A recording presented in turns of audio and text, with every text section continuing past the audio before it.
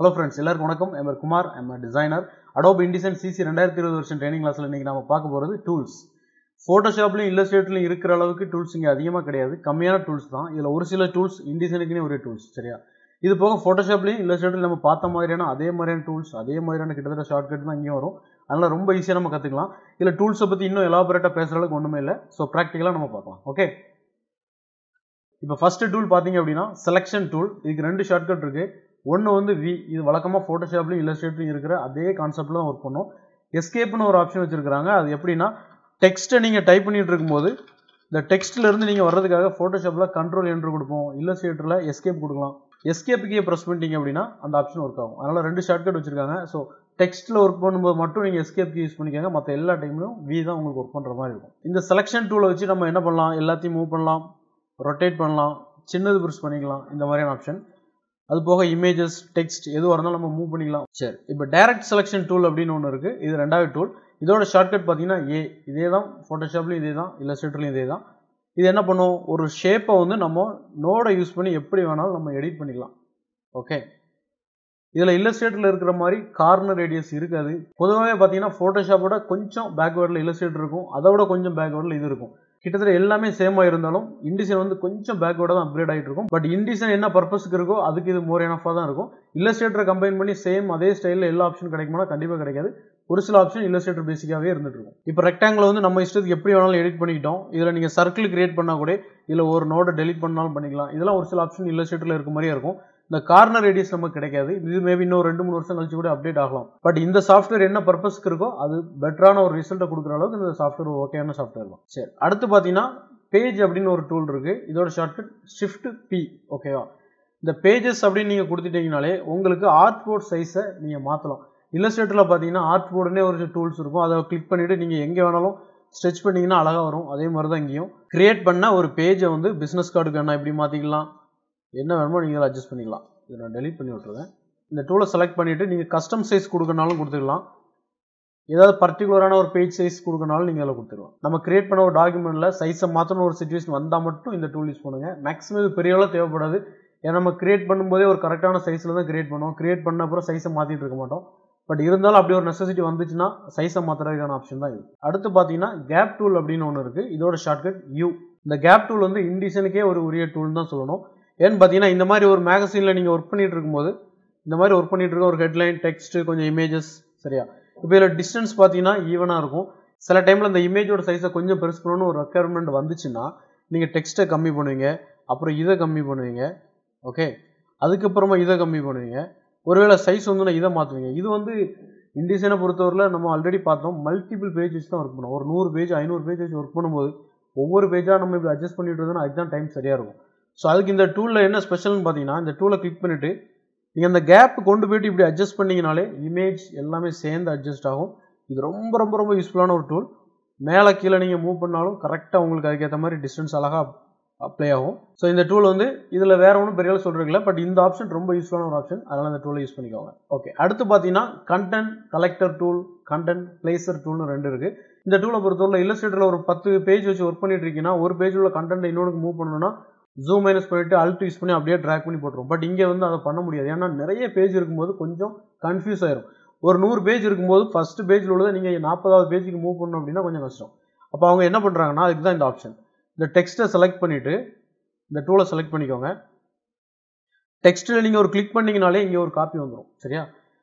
அப்போ இந்த டெக்ஸ்ட் நீங்கள் வேணும் வேண்டாங்க நீங்கள் முடிவு பண்ணிக்கலாம். அது நீங்கள் டெலிட் பண்ணாலும் ஓகே இல்லை அந்த அலைன்மெண்ட் அப்படியே இருக்கட்டும். ப்ளஸ் நான் இந்த டெக்ஸ்ட்டை கீழே யூஸ் பண்ண போகிறேன் அப்படின்னு வச்சிங்கன்னா கீழே போயிட்டு இந்த டிக்கை கொடுத்துட்டு இதில் ஒரு கிளிக் பண்ணிட்டீங்க அப்படின்னாலே அதே டெக்ஸ்ட் கீழே வந்துடும் இப்போ நீங்கள் அந்த டெக்ஸ்ட்டை மாற்றினாலும் மாற்றலாம் டெலிட்டும் பண்ணிக்கலாம். அது நம்மளோட இஷ்டம். டெக்ஸ்ட்டை வந்து ஒரு பேஜ்லேருந்து இன்னொரு பேஜ் காப்பி பண்ணி கொண்டு போய் ப்ளேஸ் பண்ணுறதுக்கு இந்த டூல் ரொம்ப உதவியாக இருக்கும். இதெல்லாம் மல்டிபிள் பேஜ் வச்சு ஒர்க் பண்ணும்போது நமக்கு ஈஸியாக புரிய வரும் இந்த டூலோட ஸ்பெஷாலிட்டி அடுத்து பார்த்தீங்கன்னா டெக்ஸ்ட் டூல் இந்த டெக்ஸ்ட் டூலை பொறுத்தவரையில் இல்லஸ்ட்ரேட்டர் உள்ள ரெண்டு டூல் இங்கே முக்கியமான டூல் இருக்குது அதில் சிங்கிள் லைன் டெக்ஸ்ட்டுக்கும் நம்ம பேராகிராஃப் டைப்பில் தான் எடுக்க போகிறோம் பேராகிராஃபுக்கும் பேராகிராஃப் டைப் தான் எடுக்கிறோம் எப்படின்னு பார்த்தீங்கன்னா வழக்கமாக இந்த மாதிரி ட்ராக் பண்ணிட்டோம் அப்படின்னாலே அது மல்டி லைன் டெக்ஸ்ட் அதாவது பேராகிராஃப் டெக்ஸ்ட்னு சொல்லுவோம். இண்டிசனை பொறுத்தவரையில் ஒரு கிளிக் பண்ணீங்க அப்படின்னா இண்டிசனை பொறுத்தவரையில் ஒரு கிளிக் பண்ணீங்க அப்படின்னா உங்களுக்கு டெக்ஸ்ட் கிடைக்காது. இங்கே எப்பயுமே நீங்கள் ட்ராக் பண்ணி தான் எடுக்கணும். அது ஒரு ஒரு லைன் டெக்ஸ்ட்டாக இருந்தாலும் கூட சரியா?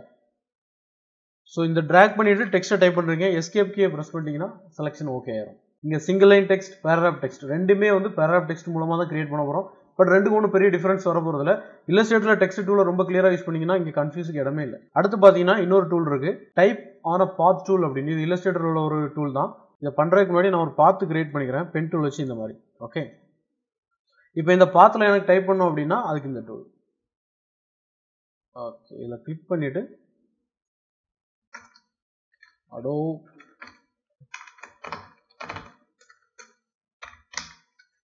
இந்த மாதிரி. ஓகே ஸோ ஏதாவது ஒரு பர்டிகுலரான பாத்தில் நம்ம டைப் பண்ணோம்னா இந்த மாதிரி நம்ம பண்ணிக்கலாம். இதில் லைன் வேண்டாம். கீழே இருக்க லைன் நமக்கு மோஸ்ட்லி தேவைப்படாது. இந்த கலரில் போயிட்டு நன்னு கொடுத்துருங்க. இதில் போயிட்டு ஸ்லாஷ் கொடுத்துட்டிங்கன்னா இந்த மாதிரி ஆகும் ஸோ டைப் ஆன் பாத் இது கிட்டத்தட்ட இது லேஅவுட் ப்ரோக்ராம் அப்படின்றதுனால நமக்கு பாத்தில் கொஞ்சம் அதிகமாக ஒர்க் இருக்கும். அதனால் இல்லஸ்ட்ரேட்டர் பேஸ்டான ஒரு சாஃப்ட்வேர் தான் இது. அடுத்து பார்த்தீங்கன்னா லைன் டூல் இந்த டூலை வந்து ஷேப்பில் கொடுக்காம எதுக்கு தனியாக கொடுத்தாங்கன்னு தெரியல. மேபி இந்த ரெண்டுக்கும் கன்ஃபியூஸ் வரக்கூடாதுங்கிறதுனால கொடுத்துருக்கலாம் இதை ஷிஃப்ட்டை ஹோல்ட் பண்ணிட்டு கொடுத்தீங்கன்னா ஸ்ட்ரெயிட் லைன் ஷிஃப்ட் இல்லை அப்படின்னா உங்கள் இஷ்டத்துக்கு ரேண்டமாக நீங்கள் எடுத்துக்கலாம். இந்த லைனோட ஸ்ட்ரோக் பார்த்தீங்கன்னா இங்கே இருக்குது அதோட கலர் வேணால் நீங்கள் இங்கே கொடுத்துக்கலாம். Pink yellow S line type நீங்கள் இங்கே கொடுத்துக்கலாம். செலக்ட் பண்ணிவிட்டு லைன் டைப் இந்த மாதிரி. எப்படி வேணுமோ நம்ம லைன் அட்ஜஸ்ட் பண்ணிக்கலாம். இதெல்லாம் லேஅவுட் ப்ரோக்ராம் அப்படின்றதுனால இந்த லைன் கொஞ்சம் கண்டிப்பாக நமக்கு தேவைப்படும். அதோட ஷார்ட்கட் வந்து ஸ்லாஷ் அடுத்து பார்த்தீங்கன்னா பென் டூல் இதோட ஷார்ட்கட் பி இது ஃபோட்டோஷாப்லேயும் இதுதான் இல்லஸ்ட்ரேட்லேயும் இதுதான். மோஸ்ட்லி இல்லஸ்ட்ரேட் ஃபோட்டோஷாப்பில் இருக்கிறது தான் இருக்கும். அப்படி இல்லைனா கூட ஒரு சில மேஜரான ரீசனுக்காக மாற்றி வச்சிருப்பாங்க. அதனால் கொஞ்சம் நீங்கள் இண்டிஸில் நல்லா ஒர்க் பண்ணிவிட்டு மற்ற ரெண்டு சாஃப்ட்வேர்லையும் உள்ள ஷார்ட்கட் நம்ம இதில் செட் பண்ணலாமாங்கிறத நீங்கள் பார்த்துக்கோங்க. வந்தவொடனே செட் பண்ணிடுறாங்க ஏன்னா முக்கியமான ஒரு ஆப்ஷன் ஏதாவது கொலாப்ஸ் ஆக வாய்ப்பு இருக்குது பென் டூலை பொறுத்தவரையில் இதோட ஷார்ட்கட் பி ஒரு கிளிக் பண்ணுறீங்க ரெண்டாவது ஷிஃப்ட்டை ஹோல்ட் பண்ணிவிட்டு நீங்கள் கிளிக் பண்ணிங்கன்னா ஸ்ட்ரைட் லைன் கிடைக்கும். அப்புறம் நீங்கள் வந்து இப்படியே கண்டினியூஸாக கிளிக் பண்ணிங்கன்னா ஒரு கர்வ் லைன் கிரியேட் ஆகும். இதில் அல்ட்டை ப்ரெஸ் பண்ணி இந்த நோடை ரிலீஸ் பண்ணிட்டீங்க அப்படின்னா உங்களுக்கு மறுபடியும் ஸ்ட்ரைட் லைன் கிடைக்கும். இல்லாட்டி இல்லாட்டி மறுபடியும் அதே மாதிரி ஒரு கண்டினியூவான ஒரு கவ் லைன் தான் கிரியேட் ஆகும். சரியா? இது லோகோ ரெடி பண்ணுறதுக்கு ரொம்ப யூஸ்ஃபுல்லாக இருக்கும். பட் லோகோனாலே நம்ம இல்லஸ்ட்ரேட்டர் தான் பண்ண போகிறோம் இருந்தாலும் இதில் ஏதாவது ஒரு தேவை இருந்ததுன்னா நீங்கள் பென் டூல் யூஸ் பண்ணிக்கலாம். இல்லஸ்ட்ரேட்டரில் என்ன பண்ணுமோ சேம் ஒர்க்கு தான் இங்கேயும் பண்ணும். பென் டூலில் பார்த்தீங்கன்னா இன்னும் ரெண்டு டூல் இருக்குது இந்த ரெண்டு டூலுமே நமக்கு தேவையில்லை. ஏன்னா டிஃபால்ட்டாகவே அது வந்துடும் மூணாவது டூல் நமக்கு தேவைப்படும். அதுக்கு முன்னாடி ஃபஸ்ட்டு இன்னொரு அகைன் நான் பென் டூல் ஒன்று கிரியேட் பண்ணிக்கிறேன். ஓகே இதில் இந்த கார்னர் பார்த்தீங்கன்னா ரொம்ப ஷார்ப்பாக இருக்குது இப்போ இதை நான் கர்வ் லைனாக கிரியேட் பண்ணணும் அப்படின்னா அதுக்கு தான் இந்த கடைசி டூல் கடைசி டூல் என்ன tool convert direction point tool நான் அந்த டூலை செலக்ட் பண்ணிக்கிறேன். இப்போ இந்த கார்னரில் வச்சு நான் எடுத்தேன் அப்படின்னாலே ஆட்டோமேட்டிக்காக இதுவும் சேர்ந்து கருவாயிரும் அப்போ நம்ம டெலிட் பண்ணிவிட்டு மறுபடியும் ட்ரா பண்ணணும்னு அவசியம் இல்லை. அப்புறம் பென் டூலை நீங்கள் செலக்ட் பண்ணிவிட்டு சாதாரண ஒரு இடத்துக்கு கொண்டு போனீங்கன்னா ஒரு நோடு ஆட் பண்ணிக்கலாம். நோடு இருக்கிறதுக்கு போனீங்கன்னா டெலிட் பண்ணிக்கலாம். அதான் இந்த செகண்ட் தேர்ட் டூல் பண்ணும். அதனால் இந்த டூல் நம்ம யூஸ் பண்ண வேண்டாம். டேரெக்டாக பென் டூலே நம்ம அதை கொண்டு வந்துடலாம். ஓகே சரி. இதில் கலர் ஃபில் பண்ணணும் அப்படின்னா வழக்கம் போல் ஸ்வேச்சஸ்லேருந்து நீங்கள் பண்ணிக்கலாம். பிங்க் ஸ்ட்ரோக் வேணாம். எல்லோ டெப்த் வந்து ஒரு டுவெண்ட்டி தெரிகிறதுக்காக லைன் சாலிடு இந்த மாதிரி. பென் டூலில் நீங்கள் ஷேப் கிரியேட் பண்ணால் இல்லஸ்ட்ரேட்டரில் என்ன ஒரு ஆப்ஜெக்ட் கிடைக்குமோ சேம் ஆப்ஜெக்ட் தான் இங்கேயும் கிடைக்கும். எவ்வளோ சின்னது பெருசு பண்ணாலும் ஒன்றும் செய்யாது. ஏன்னா இது வெக்டாராக தான் இருக்கும். அடுத்து பார்த்தீங்கன்னா பென்சில் டூல் இந்த டூல் வந்து நமக்கு மோஸ்ட்லி தேவைப்படாது. ஏதோ ஒரு டைமில் தேவைப்பட்டுச்சுன்னா யூஸ் பண்ணிக்கோங்க. யாருக்காவது எதையா மார்க் பண்ணி காமிக்கணும் அப்படின்னா இந்த மாதிரி நம்ம ட்ரா பண்ணலாம். ஃப்ரீ ஹேண்டாக எதாவது ட்ரா பண்ணுறதுக்கு இந்த டூல் ரொம்ப யூஸ்ஃபுல்லாக இருக்கும். ஏதாவது ஒரு ஷேப் நீங்கள் உங்கள் இஷ்டத்துக்கு ட்ரா பண்ணாலோ மார்க் பண்ணனாலோ இல்லை ரஃபாக ஒரு பாத்து கிரியேட் பண்ணிவிட்டு அதை நீங்கள் வந்து கிளிப்பிங் மாஸ்க் பண்ணுறதுனாலும் இதை நீங்கள் யூஸ் பண்ணிக்கலாம்.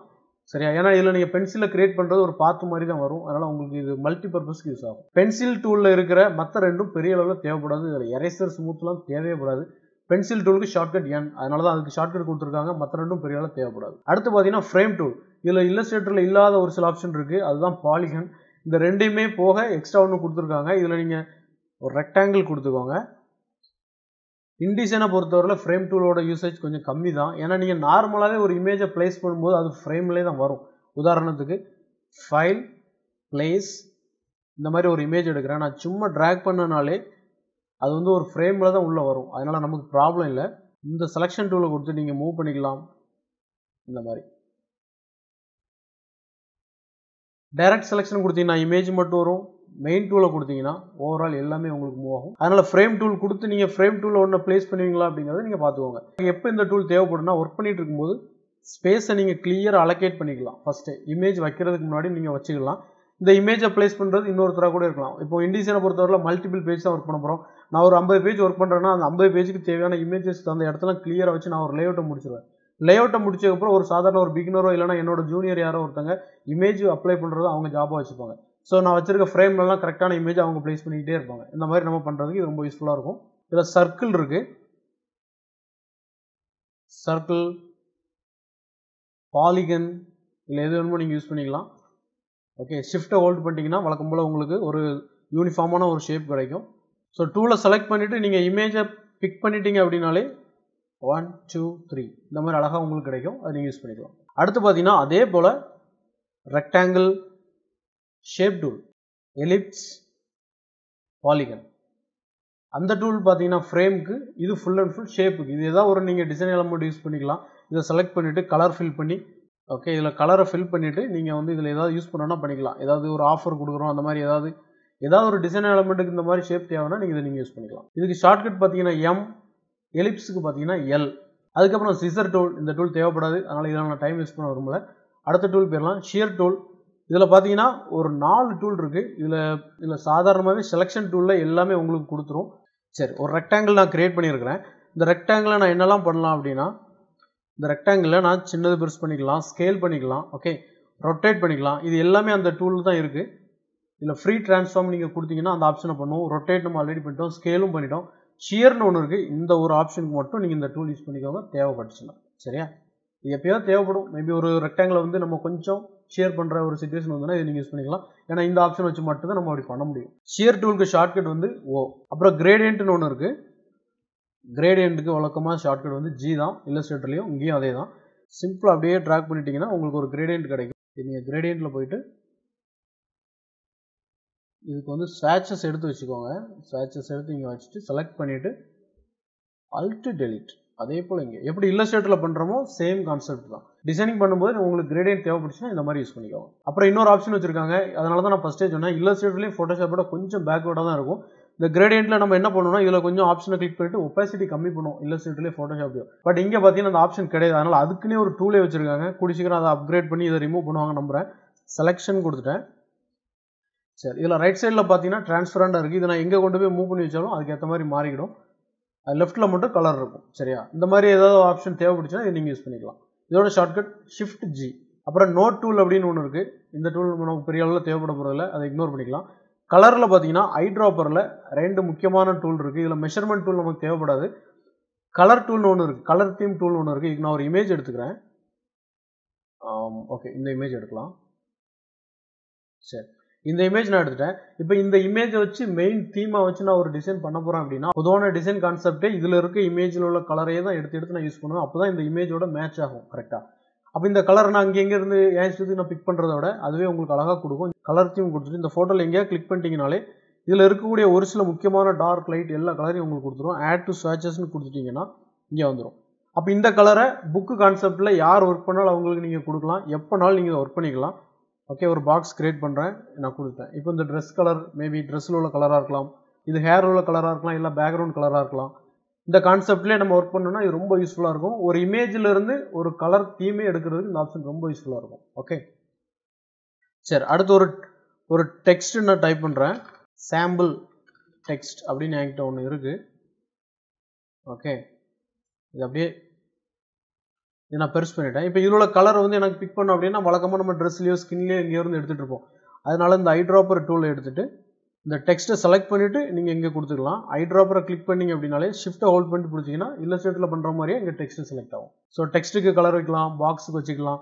கிட்டத்தட்ட இல்லஸ்ட்ரேட்டரில் இருக்க மாதிரியே இருக்கும். ஸோ நமக்கு இதில் கன்ஃபியூஸுக்கு ஒரு ஒரு இடமே இல்லை. ஸோ முக்கியமான டூல்ஸ் அவ்வளோதான் இதில் மெஷர்மெண்ட் டூல்னு ஒன்று இருக்குது அது நமக்கு தேவைப்படாது. ஏன்னா ஆல்ரெடி நம்ம வந்து ஒரு பாக்ஸை நீங்கள் எடுத்தீங்கனாலே உங்களுக்கு ஆப்ஷன் அதாவது கண்ட்ரோல் பாரில் கிளியராக உங்களுக்கு கொடுத்துருவாங்க. அப்படி இருக்கும் நீங்கள் மெஷர் பண்ணிட்டுலாம் இருக்க போகிறதில்ல அதனால் அந்த ஆப்ஷன் ஒன்றும் பெரிய அளவில் தேவைப்படாது. இதில் ஹேண்ட் டூல் அப்படின்னு ஒன்று இருக்குது வழக்கமாக இல்லஸ்ட்ரேட்டர் மாதிரி தான். ஸ்பேஸ் பாரை ப்ரெஸ் பண்ணிட்டீங்கனாலே ஹேண்ட் டூல் கிளிக் ஆகும். ரொம்ப அழகாக இதில் நீங்கள் யூஸ் பண்ணிக்கலாம். அதனால் அந்த டூல் நம்ம போக மாட்டோம் ஜூமிங்கும் அதே மாதிரி தான்.